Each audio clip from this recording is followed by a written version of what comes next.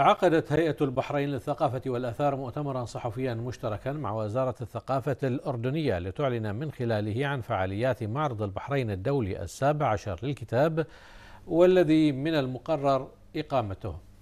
يشارك في المعرض 380 دار نشر ومؤسسة ثقافية فكرية محلية وعربية وعالمية.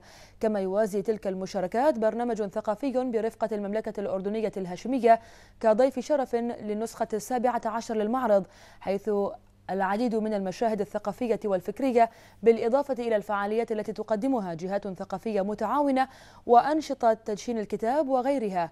وستستمر دور النشر والمؤسسات الثقافية على طول مدة المعرض بتقديم إصداراتها الثقافية والفكرية. ومن بين المشاركين مكتبات رائدة ومؤسسات ودور طباعة حكومية وخاصة بالإضافة إلى جهات أهلية ومشاريع فكرية مميزة. لتتجه كل هذه المؤسسات إلى جمهور القراءة والكتاب بمحتوى أدبي علمي ثقافي وتعليمي يصل إلى جميع الشرائح والقراء.